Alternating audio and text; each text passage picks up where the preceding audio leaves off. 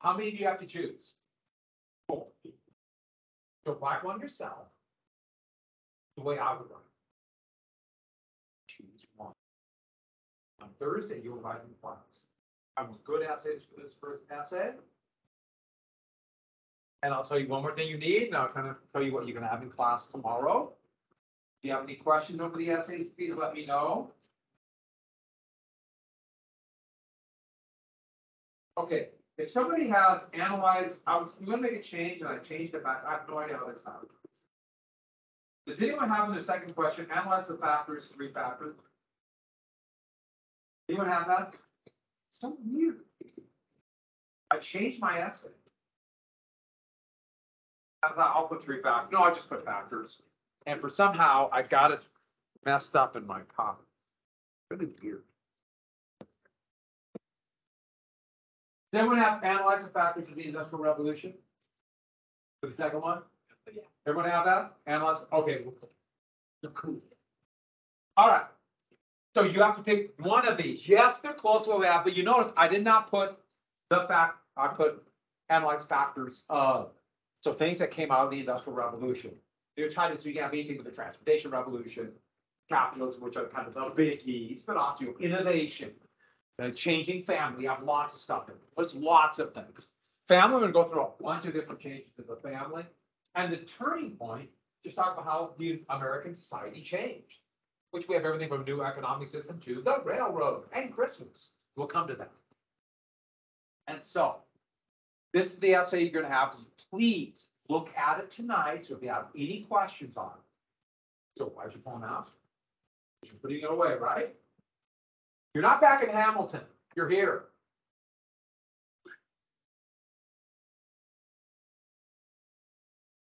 Uh, Okay, there was somebody walking just by a window, there's a floating cat there. I just saw that cat bouncing up and down in the window. Hopefully it's squirrel. Okay, let's talk about your opening paragraph in your essay. So you might want to jot down a few of these things or take your notes out just to review. We are talking about thesis statement. We'll do another thesis statement before. If you want me to look at your thesis statement, I will look at it. Or you can send it on Teams. The only problem with sending on Teams, they now have a twenty-four hour limit. Students messages on Teams. and they this small. I, really am not sure why. Something happened. That I don't know. I don't really want to know. But this is the limitations we have. So if you send it, I'll try, I'll look tonight or tomorrow night, but I'm just letting you know, it's twenty-four hour limit. Mine stay on forever. Yay. Actually, no, I don't think so. I think everyone's now limited twenty. On chat. So Something must have happened.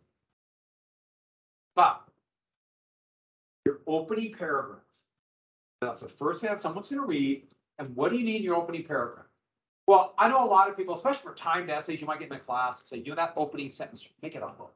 You sit and grab and suck them in. We all know how hard that is to write. Now, if something hits you for that first sentence, fine. But This is a timed essay we have to do in here. And so just make it something very basic for that first sentence. There were many changes in the nineteenth century, nineteenth century America. Be really basic, unless something hits you that's really good. It might, I don't know. But we don't have time, especially in a timed essay. But here's the next thing about that opening paragraph you need. What you need is, and the word is, okay, no one liked the green pen, so I wrote it in blue context. Context, which is background material. Now, some of you already know what it is, but I just want to make sure this is clear. Events that are happening outside of your essay. So events that led up to the Industrial Revolution, like the War of eighteen twelve, or the Industrial Revolution uh, began in Britain. Or another way to look at it is put down two to three specific events, people, events, and places that you do not have in your body paragraphs. If you don't have a paragraph on the transportation revolution, I'm just throwing something out there. Mention it in your context. A radically changing transportation revolution that lowered shipping costs in that opening paragraph. Context. Two to three, maybe four sentences that have these things down just a sentence about it. If you don't talk about the changing family, mention it there. The second great awakening, mention it there. The new demo- demo- democratic movements, mention it there.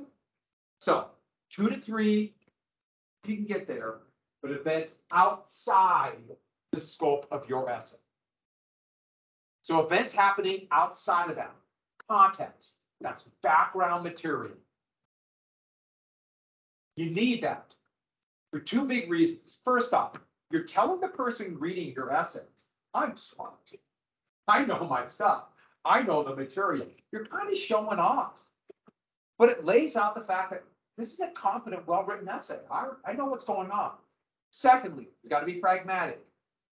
Context is one point on your essay. So on the, the regular long essay, six points, you get context, that's, that's one point. You get a good thesis statement, that's two. That's two out of six. For the DBQ, document-based questions, which we'll get to, um, fairly soon. Seven points, that's two of your seven. Like a well-organized essay, which is also your thesis at the point too. so you're like halfway home. If you get that. Remember what I told you, you write a good essay, they'll figure out a way to give you, give you the points. Make it easy for them to be. So contents, background material. So if you're doing the factors of the industrial revolution. And you have like a paragraph on transportation, on capitalism and innovation. I'm just throwing three things out here. Like, "Ooh, that's a good idea. Why not? But then why about two or three other things that happened during that time? Background material, the dramatic change in society with a new religious second great awakening, you know, things like that. Do not, for context, write things like, there have been many changes in American society. From ancient Rome all the way to the twentieth century, computers and cars. No, don't write that. Give me specific events about the era the essay is in. If you start writing stuff like that, in my life, I've seen so many things. I have changed so much because of the Industrial Revolution. That looks like to the person right, reading your essay, that you're just filming. You're just writing stuff. There's an initial for this, E and an S. Everybody's done it. That's it. And it's easy to catch. You might get away with it occasionally. But you just start writing stuff like that, just generic garbage. They catch it. So what's the closing?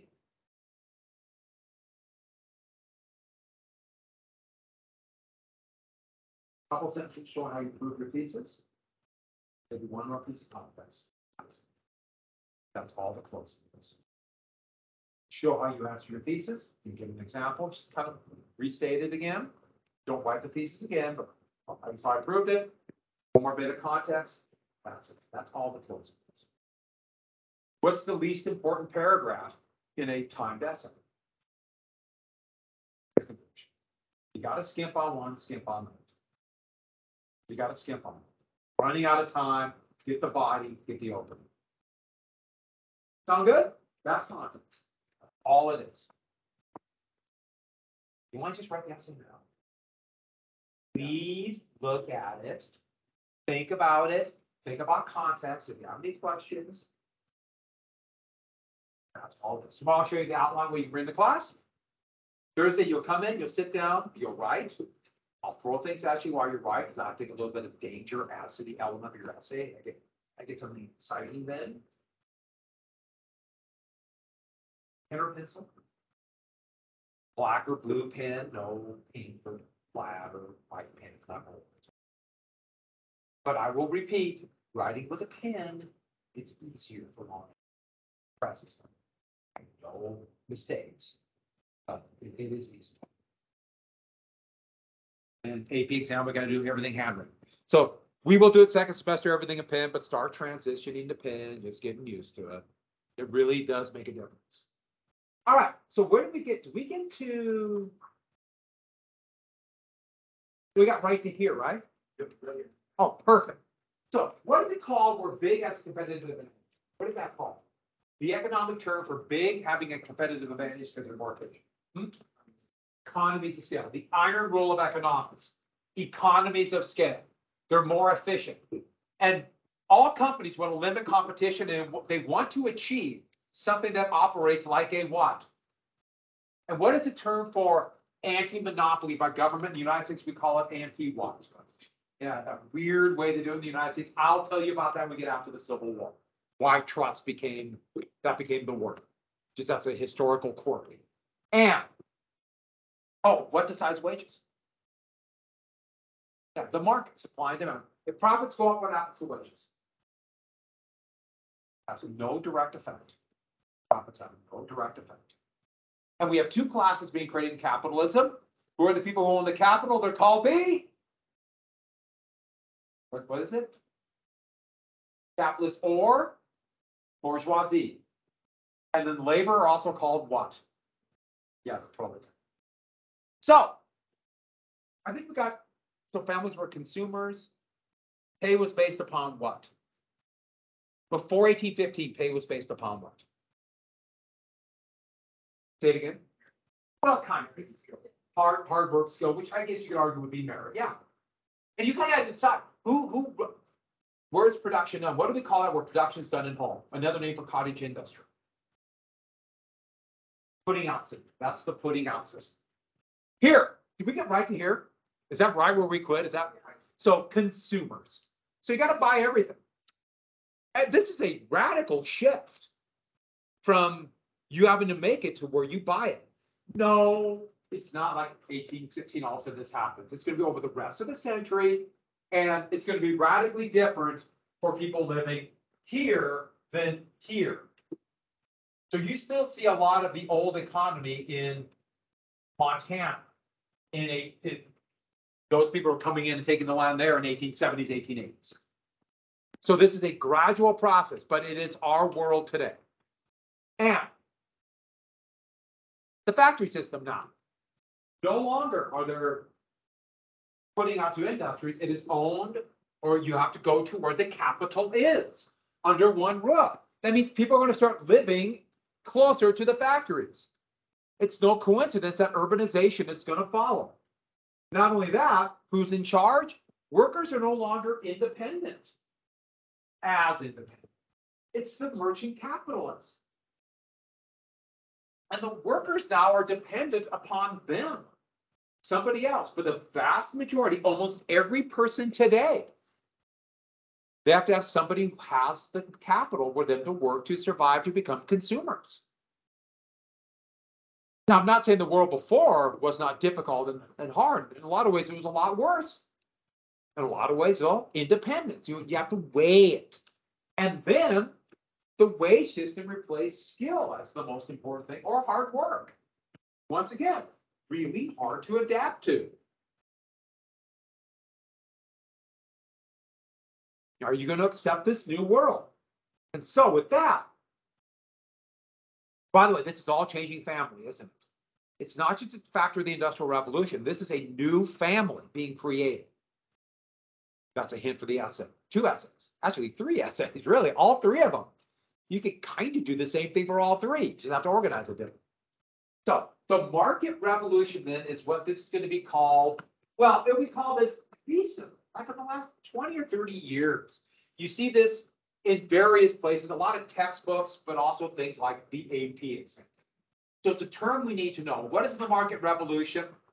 All of these things that came out of the industrial revolution. I should have put the arrow the other way, but for some reason I put it, it should be like this way because of the new economic system, capitalism, the transportation revolution, and how finance, banking, buying and selling of stock, profiting from the selling of stock became so crucial. And this is a run on the bank, a bank panic in the panic of 1837. We'll get to that probably Thursday, Friday. And so with that, so if you see the market revolution, it is basically all these things that came out of the industrial revolution.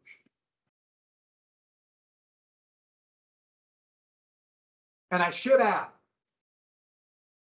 even people who were against or fearful of the industrial revolution, like Jefferson, they still liked the market per se. They were just fearful of all the, the production being in the hands of the capitalists. So back to this. So now we have all these reactions. All these things are going to blow up. We can only just cover this a little bit.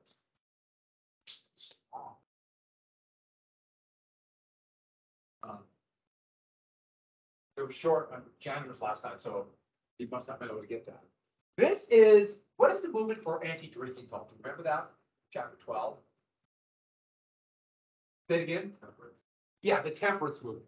Now temperance means to limit drinking. Prohibition is to totally get rid of it.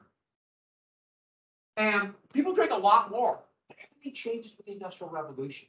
If now you're reliant upon cons- your consumer economy, and therefore you need money to survive. If one person drinks in a family, that means less money for food for, this is the drunkard's progress for them. And that's why she's crying. So this is supposed to represent like her husband, drinking a little bit, soon to having fun and drinking. And then the decline of the drunkard's progress. Drunkenness, homeless, turning to robbery for money. The drunkard's progress, to try to get people to limit drinking. And yes, drinking will go down dramatically for lots of reasons. And so with that, family life, gone, totally, different, totally changed. Families begin to move apart. Hey, with the mechanical reaper, you don't need as many kids, so they leave the household.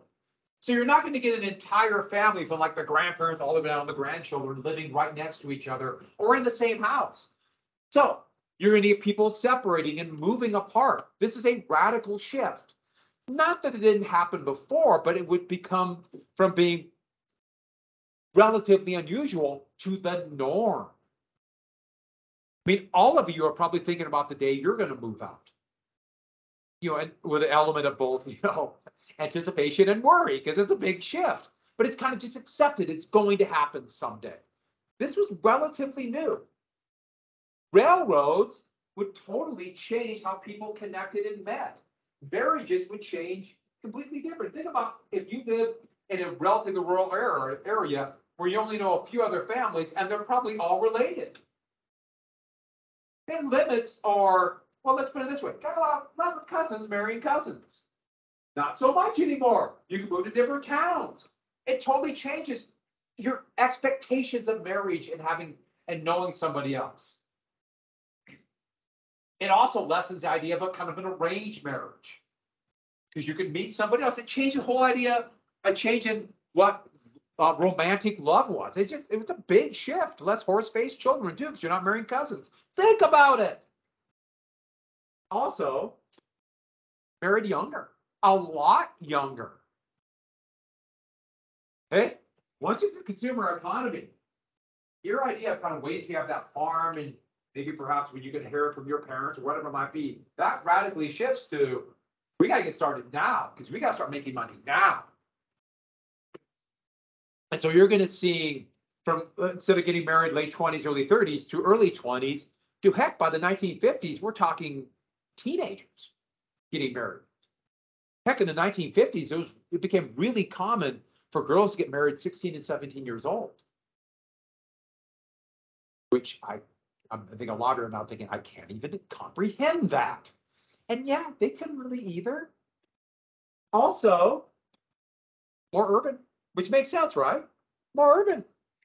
Which, by the way, that means more government, more rules, more change. It means it's a radically changing world. Also, people's diet, clothing, sizes where you bought, you didn't make it yourself. Everything, and then like furniture, you can now buy pre-made furniture, more furniture. Uh, wallpaper became a really big deal, manufactured wallpaper. Heck, after the Civil War, if you had wallpaper with pineapples, you've made it. You're big time. I, I forgot one more thing too, retirement. There was no retirement before the Industrial Revolution. Retirement is something that came about with the Industrial Revolution. You worked, or before the Industrial Revolution, you worked till you couldn't work. You probably your family cared for, you. it wasn't considered like a retirement. After, there'll be a point where you can no longer have wage work, but you're still alive. It's a big shift. It totally changes your expectation of life. It's no coincidence that not long after the Industrial Revolution took place, the first country that have some kind of guaranteed pension for elderly people would, they would pass this in their legislature. It, it was a new thing called the Reichstag. Country was a brand new country called Germany. And they'd be the first one to have social security, old age pension. United States will get that with, um, the New Deal when Franklin Roosevelt during the nineteen thirties. So at that, all this is new, totally new, totally changed.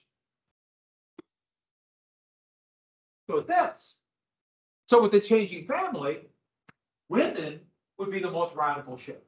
Now, women already have fewer economic and le- or political and legal rights.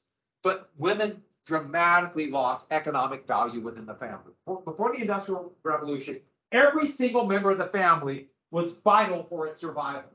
After the Industrial Revolution, more and more women, they became less important, therefore subservient to the man who would go off and get the wage. Now, women did this too, but more and more it's the men. And remember, this was a gradual shift. And it was a real noticeable shift that women could feel. They lost economic value because they were no longer as important in a consumer economy. Remember, before the Industrial Revolution, women had to make everything. So therefore, women became more dependent upon men. It's part of the reason women started getting married younger, especially if children. Because children now are different about the way children are raised with the Industrial Revolution. So women became more dependent, and you can imagine there's going to be shaping with this, but at the same time, women are going to lose economic and, I'm sorry, political and legal rights.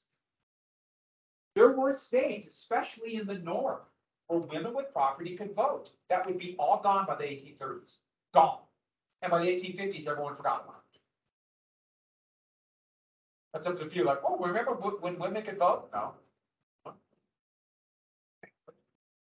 course, a lot of men couldn't vote either. And legal rights, women lost legal rights, especially married. women. Married women lost almost all their legal rights.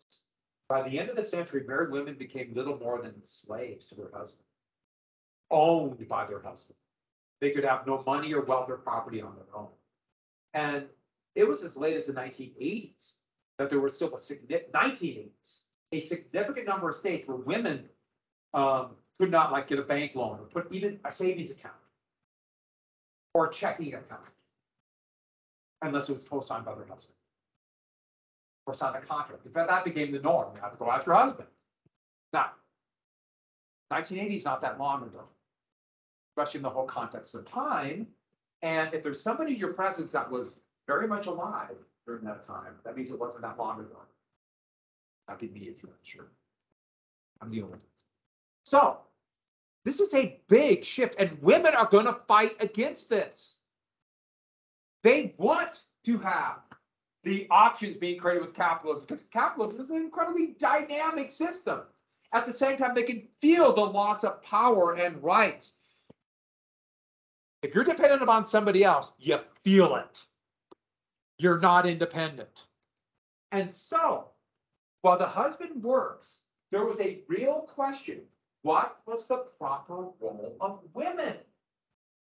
Now, before women were as essential as anybody else for the survival of the home.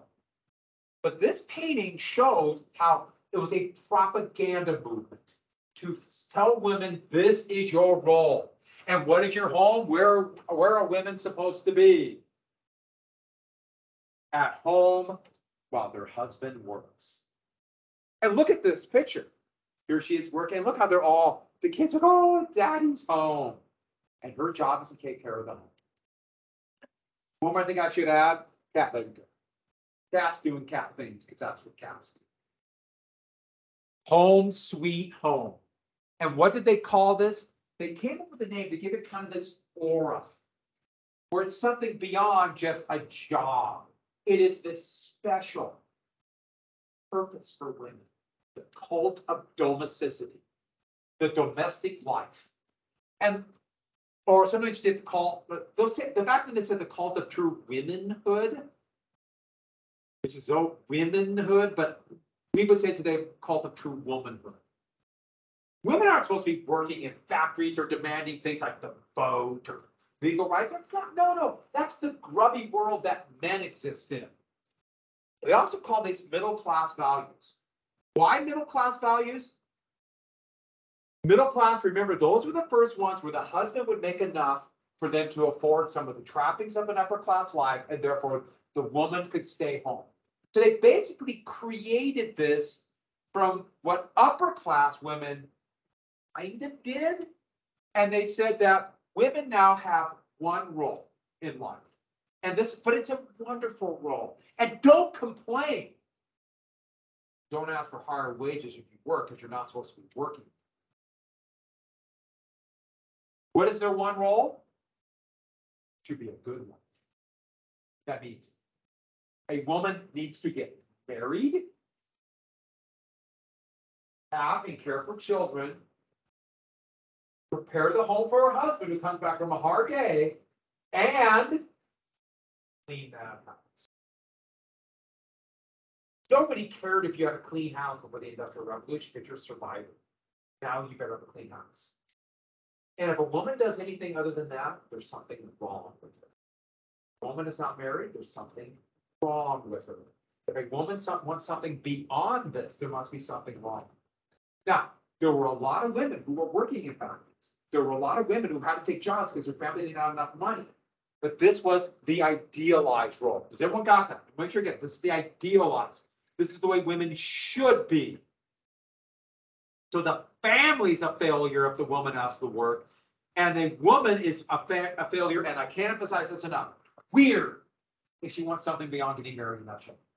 There's something wrong with her. That's it. One choice. Now, you might say, how did this happen? Well, literally twenty years. This became like, oh yeah, this way it's always been. But it wasn't like this. I should add, there were a whole series of women's magazines that would come out. Edited by men. That would push this in this new, the new industrial system where they could make magazines going into the Civil War. The role of women. And these magazines would be huge all the way up until the nineteen eighties and nineties, still around like McCall's or things like that. So. What was the women's sphere? Home. That is their world. And they will teach morality and values to children. You see the women's sphere. This is my world. The husband goes off to the grubby, dirty world of finance, because that's what men do. They compete, they fight, while women are more sanctified, almost saintly. In fact, they would say, they really emphasize this idea of pure. There's nobility of women. And you don't want to mess their hands up and their beauty. A lot to talk about that with this outside world. But the big thing about that is, that tells women who do have jobs, there's something wrong with you. You should be at home. And therefore, don't ask for higher wages. Therefore, a drop. This is a big deal. And the cult of domesticity would be huge, and it still is. I mean, think about any television ad or see an ad on TV or any place it might be about something about housework. Who's doing it? It's either always women or a man. It's kind of a joke doing it kind of badly. Not always, but that happens a lot. It's getting a little different, but call it domesticity. Wow, would this be big, especially after times of change? After times of change, times of insecurity. After World War II, it was almost like a manic effort to go back to that cult. And women should give up jobs they had during the war and get married and settle down. That's why sixteen and seventeen. girls were getting married. They're almost manic to go back. So with this, this is a big shift. I can't emphasize wow, what a big deal it is. And people talk about the old fashioned role of the sexes. It was relatively new. And this ties in with this concept that began before the Industrial Revolution, but it's time to mention it here, called Republican womanhood. Where it's going to be the job of the women to teach their kids to be good citizens in a republic. And so here it goes up, the women, the man goes on, I'll take care of the important stuff. This is a relatively modern cartoon, but it says it pretty good. I will educate the children. Now, not quite this, because I'll come back to this. Now, I've gotta mention Republican women, this has been on the APs. A number of times. So I had to make sure all the domesticities almost always on there. last year was a weird test. They didn't have like anything for the industrial revolution. Which are, yeah, kind of like the biggest things that happened. And all, all the students came back and saw me on the next Monday or, or they sent me notes like, there are no questions from the Cold War. What? Only reason I'm telling you that is I wonder, that might be a good chance there'll be questions on the Cold War and this kind of stuff on the next step. Of course, you never know. They're, they're weird. Mm-hmm. So, what of children? Speaking of family changes. Before the Industrial Revolution, for virtually every family, why did you have kids? Being workers. Kids, boom, out on the farm working, or whatever it might be. You might even know their names. I'm exaggerating, but not much. Kids are workers. And 10, 11 years old, they're working. Eight or nine, they're working. You have kids. After the Industrial Revolution, where you go from producers to consumers, why do you have kids? Huh? For the same reason. Why do you have kids? I have kids. But why do you have kids? Because you want kids and you love them. That's the point, because you want kids. Before it was an economic necessity, you gotta have kids. I know what you're saying, but why do you have kids? Now you you gotta really want them, because you gotta pay for them. It's a big shift. Kids before kind of workers, you know? You gotta really make decisions in your life. When are you gonna have, kids? you gotta have a job to pay for them. It's a big shift. What's gonna happen to the size of families once you have the industrial revolution? What? Yeah, they're going to go down. Because kids now are no longer an economic necessity. And you gotta make rational decisions about this. It's really difficult. But it's no coincidence then. If you're deciding, I'm gonna have kids because I wanna have kids. Then you really want them and care for them and love them and give them names and feed them and clothe them and write this down. It's no coincidence. Industrial revolution. Why people have children would change. Public education. So write down education. You want to educate them. I'm not saying you didn't before, but before you had no choice. For virtually every family, you had to go out work. That's life. Now, public education. Now, once again, this is idealized. You don't have much money, which about twenty percent of families did. The kids are in the factories too. But the idealized would be that someday they don't have to. But education. And then there's something else. If you have children, you want to be nice to them. For the Industrial Revolution. For the Industrial Revolution. The most pop, the most important, and still is, the most important Christian holiday was what? Easter.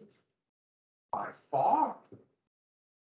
By far. There might have been a Christmas service, but Christmas was very secular outside the of religion. In fact, that's why the Puritans would, for example, ban it. Because it was literally a twelve or seven day token mess. The first police force in the United States, permanent police force, was created in New York City, copying the London police force. And it was specifically started originally to stop Christmas. Because it would turn like they burned down buildings. It was just a mess. They tried to slow down Christmas. Within forty years, the whole thing had changed. The whole thing had changed. Think about it. Children, I want to be nice to them. Maybe give them gifts. There are now factories making gifts who need demand. There's nothing wrong with giving gifts. In fact, I would argue giving gifts is a really nice thing. I like to give gifts to people. It feels good. I also like to receive gifts, you know, let's be honest. No, but it goes from, we have factories who want to sell products. We have families who want to be nice to children. Get together now. The holiday of Christmas as we know it. Christmas will come about, what, way you think of Christmas now, especially the way it's thought around, uh, thought about all over the world. In areas that are not Christian. My brother always talks about when he was in, we, my brother used to have to go to China all the time for work. And he talks about being in Shanghai, where, you know, the population of China's ninety-nine percent not Christian, whatever. But there's Santa Claus everywhere. Why? Because it just became this gift giving, selling stuff. Heck, you go to the store, they're already having Christmas stuff. up. You notice that? Halloween stuff is gone. The Christmas stuff is going up right now. You go to Target or what's my hand is room, that's I'm pointing that direction. What, what I'm heading is Costco. This Costco is like this consumerist paradise. There's gonna be Christmas stuff all over. The occasional turkey, but it's all related. So here's a Christmas celebration, that whole hanging the stockings, there were some elements of that, but that was kind of created. Have you heard of the Night Before Christmas and Christmas Carol, those stories? Those were created from whole cloth. They were literally just created, made up stories. The Christmas Carol by Charles Dickens made it all up. Great story, but made up the story of Christmas. This Germanic Christmas tree, ah, that became all of a sudden associated with Christmas. Consumer demand, Christmas. What's the biggest time for stores? Christmas. Now, doesn't make it bad, but that's how it started, as we know it. And what about this guy? Santa Claus, as we know it, was a hodgepodge of different things, mostly Dutch Father Christmas. And Thomas Nast drew him this way. The chubby guy, eventually decided this was red, with a beard, eighteen sixties. Here it is by the Civil War. All created for the Industrial Revolution. So Christmas is another that came out with the Industrial Revolution. And I always think it's funny when people say, let's get back to the old fashioned traditional Christmas. Are you sure that's what you want? I don't think that is what you want. And there's one more thing. I someone asked me this first person, I'll tell you. Someone said, what about Xmas? What does that mean then? Is that like against Christmas or something? What does this mean? Anyone know? Have you seen Xmas? Anyone know what this is? So Christianity really got its start in the Roman Empire. It was Greek. You might remember this from last year. And X is a, for the Greek letter is Christos. So that means, it just means Christmas. That's all it means. In fact, the first um, Christian cross was that, called the Chol Crucifixion's a lot of time. So yeah, that's all it means, just Christmas. So if you want to know, now you know. That's all it means is Christmas. It's just another way of spelling it. So that's where. And I love this one. This is from Civil War 1863, Harper's Magazine. And there's Santa Claus greeting the troops. All this was brand new. And it's amazing how fast it became. It always been. You know, people kind of forgot where it started and it just becomes tradition. That's way traditions start. But almost every holiday that we celebrate today came out of the Industrial Revolution. They became bigger, became more important. Halloween partially because of this. Uh, Mother's and Father's Day, greeting card companies. Yeah. I, nothing wrong with that, but that's how they started. So, ironically, out of this, the women's rights movement. And so we have to call the domesticity. Women are supposed to be this. Well, middle class women, the first ones who are like this kind of her husband's working, they're at home. They begin to look at it as okay, what is my role in society? I want more than just my family. Love my family, but my life can be more just like my husband's It's outside of the sphere of the home. And so they begin, what the morality of the family? What about the morality of society? And this says the woman's sphere is, and it crosses out the home and it says, wherever she makes good. So that kind of fits an idea that women have this responsibility for the moral upbringing of society because men are too involved with making money and greed. Which of course, well, it's more complex than that, obviously, but a lot of women got involved in these so-called reform movements that all sprung up in the Industrial Revolution. The abolitionist movement. It's no coincidence that the abolitionist movement began in Great Britain with the Industrial Revolution. Abolitionist means what? Get rid of what? Know? Yeah, slavery. If you weren't sure, make sure you get that down. It's anti-slavery. Temperance, limit drinking. Prison reform, there's a big movement of prison reform. Women got involved in that. But they looked at it like, wait, we're doing about rights with other people. And you can see where this is going. What about our rights? Economic, legal, political rights for women. If we're fighting for the rights for other people, what about our rights? You saw a similar thing in the nineteen sixties. So a lot of young men and women got involved in, let's say, the civil rights movement for equal rights for all, for example, um, anti-war movement. And that kind of molded into the women's rights movement or uh, modern feminism. So what about our rights? Well, the problem with this is if you're going to change the economic, political, or legal system, the only one who can make the rules is government. Therefore, voting. so, suffrage was another term for the right to vote. And so adding the E T T E S for women only, the suffragette movement would start in Great Britain, but then the United States would follow. The push for voting rights first with the idea that women could vote, then these rules could be changed for a more equitable society, they would argue. This is from the eighteen nineties, but you how long this fight is going to be. And three of the most important leaders, Lucretia Mott, brilliant person, very well organized. She more than anyone else would begin the um, uh, would begin to organize the first women's rights conference. And we'll kind of have to bounce back or come back to this. Her best friend was Elizabeth, Elizabeth Cady Stanton, who another brilliant person, very intelligent, charming. And you got to be charming to organize a movement. Mott was very intense. She was focused. Uh, Stanton, and unlike Mott, Stanton had a, a very loving family relation, very loving husband.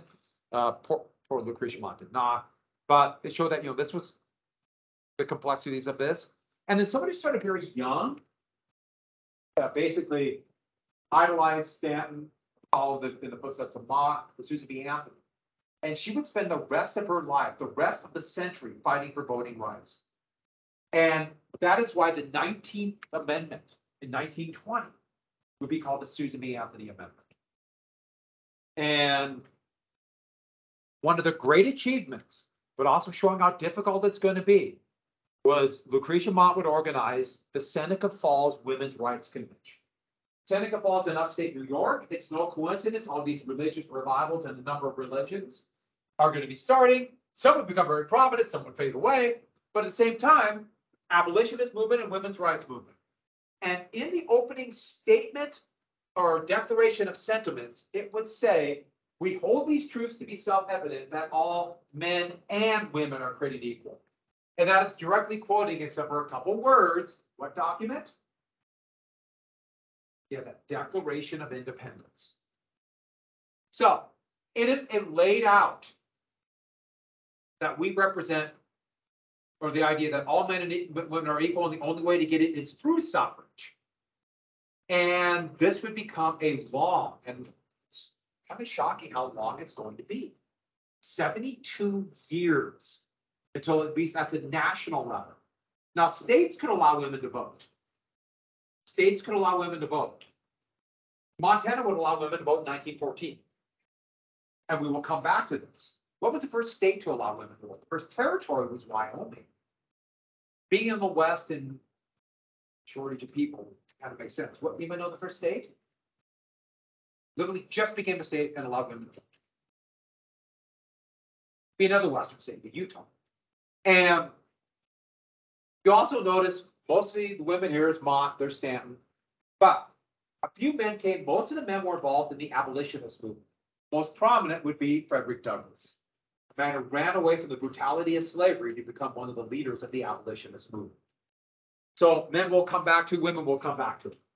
But also democracy.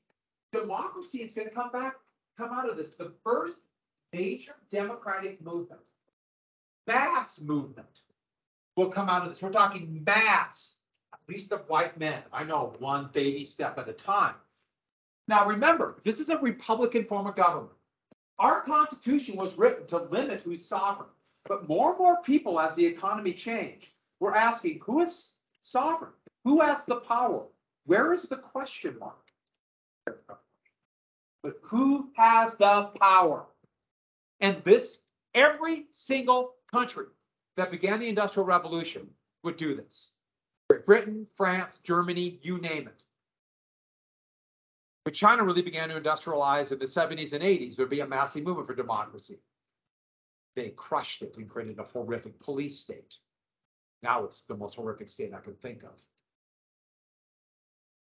Capitalism also meant that the economy is much more important or much more complex. And if the economy is more complex, government is going to be more important than ever before. Because government's going to have to set the rules and regulations for the economy, create the currency, control the banking system. Government is going to be more important.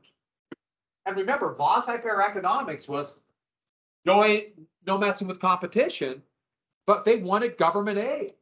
So government's more important and more people are urban. If you're living on top of each other, you need rules. If you're spread out, you just don't have as much contact. Government is by, by default more necessary. Everything from fire regulations to housing control, you know, we're gonna live on places that are gonna be relatively safe for people. Rules. So government is more important. And the vast inequality. So they already set up a system, this was done by or on purpose, where the elite have control of the Constitution. Remember, there's only one part of the US government that's elected by the people.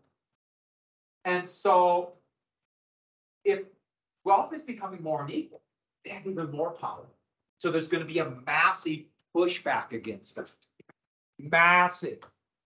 And also, workers are saying, we're stuck in this system. We want more rights on the workplace, like the labor. All of these are movements for more power with the people. Thus, it's no coincidence the most prominent politician of the beginning of the Industrial Revolution was somebody who said he's standing up for farmers and workers who are being left behind. And I want to be clear about it. He's talking white men here. But all white men. And that's, and that's Andrew Jackson. Boy, did he hate the, the wealthy. And the capitalists, and those who had wealth. He was pretty wealthy, but nothing. He started out with nothing.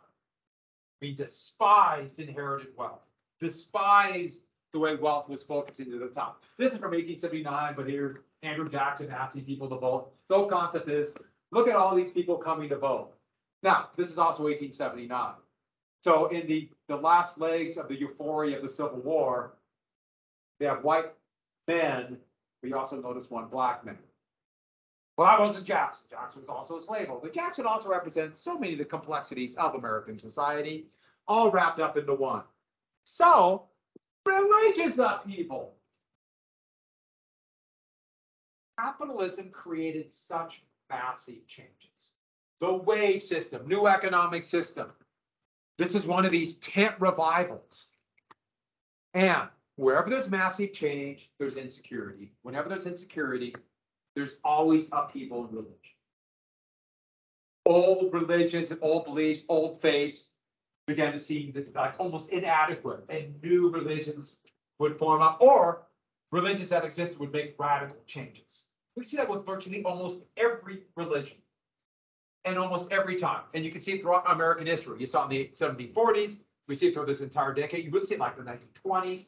You see it again in 1950s, 1970s and 80s. Now, there's some uh, uh, reconstructionist religions movements are, are are happening right now, and this happens almost every time. Now, there was a series of churches that they adapted in a different way. They called themselves liberal churches, meaning the idea is more individual liberty, more months. The people of the church will have the choice of their own salvation. They accepted. They called this new capitalistic world like the new science empiricism, math and science, this new technology. But they said there is a loving God and everybody through their own personal connection with God can find salvation. And amazingly, you saw the same thing in uh in Islam. The same thing was happening. It's it's every religion, so does, we're talking Christianity here because ninety-eight percent of the population of the United States at this time were Christians. Tomorrow we'll finish this. Please look at this. I covered a lot. By the way, do you know some of, some of, some of the family I covered? This, you got a lot of things for essays, right? See ya, have a good day. Oh, wait a sec, wait a sec. If you want me to look at your thesis statements, you can send it on Teams. Did I tell you that already? Yeah. Oh. I told, I forgot I told you. I know I told one of my classes. Oh, yeah, because we talked about why for some reason it's twenty-four hours. One of you was putting bad stuff on Teams? Any one of you? Oh, I, I know, but, uh, uh, you want to hear it directly? That's right, yeah. Oh, so she must have known, it must have been in her, her class. No, it's the middle school. Oh, it's the middle school. Guys are now banned from starting teams to have girls, so if you want to work on a project and you're partner with a girl, you can start it. If you want to, just bring this up, we got both. To see both. Middle schoolers can't, couldn't keep it back in, so now we're all. country. Yeah, let's see it. Thank you. Quiz? Yep. Okay, which one do we, uh, check? Not check for close. Chapter twelve, okay. I think I got that out. I think I got it. Yeah, you can write on this one. So I needed, I can straight. Yeah, because I don't need the copies anymore. And my printer's starting to run out of ink, so. Can you read it okay? Hmm? Can you read it okay? Yeah. So that's what happened. I purposely tried to avoid it, but now I know. Doesn't surprise me. It doesn't surprise me. Everyone can be idiots, but, but boys are kind of socialized to be really stupid. No offense, but. Use, uh, the team chat. they, like, we know this frequency. Or they just not realize that something. Um, you'd be shocked how many people want to get caught. They want someone to notice them. You know what I mean? Mm, True. It's, it's sad, but that makes it even more sad.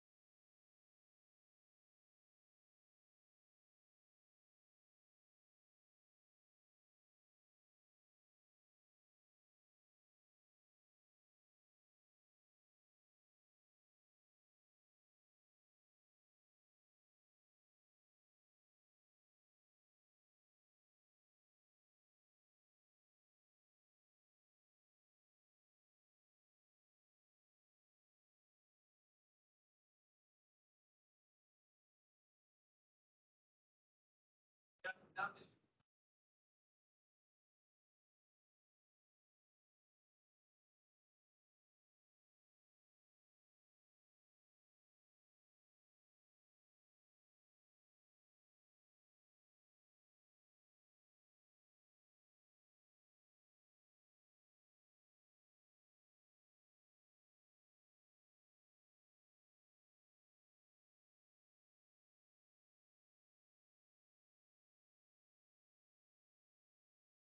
It's, I didn't get the email.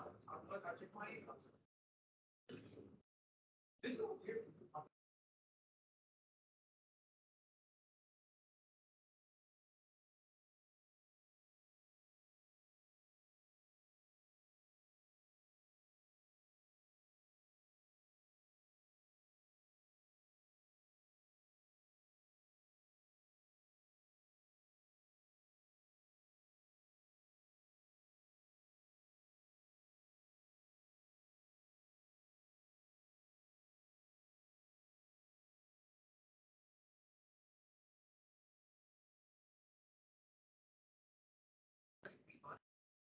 I don't want that fry. Bad fry, fry and pizza.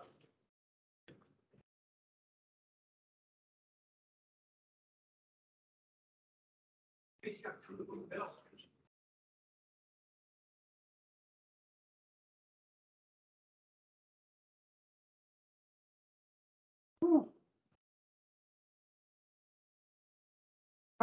today.